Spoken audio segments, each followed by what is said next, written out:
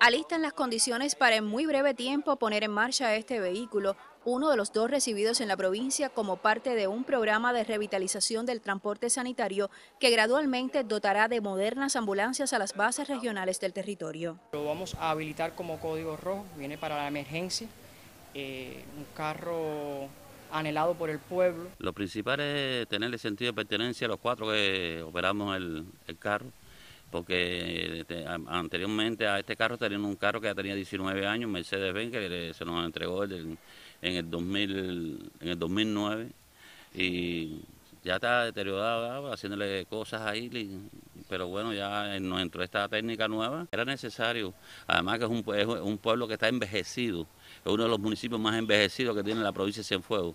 El colectivo crucense extiende las prestaciones a Lajas y San Fernando de Camarones con una tendencia a la disminución del tiempo de espera de los pacientes según los carros disponibles en cada base. Dos ubicados a tiempo completo en el municipio de Lajas.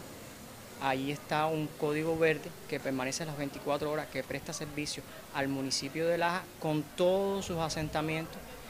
Y dos en el municipio de Cruce, un código rojo, un código amarillo y un código verde y otro código verde que está en el asentamiento de Peñasco, que es una zona rural. No ha sido fácil mantener estable el servicio, sin embargo, este colectivo logra casi un 90% de disponibilidad. Hemos llegado, por ejemplo, los códigos rojos, que son los, pacientes de emergencia, que son los que más requieren eh, de una asistencia secundaria inmediata.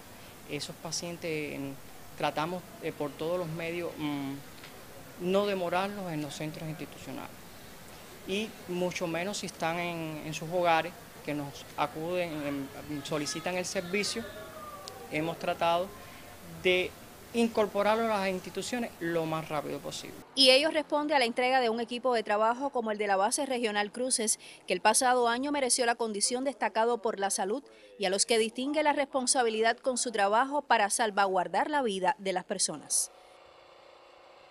Mayelín del Sol, Notisur.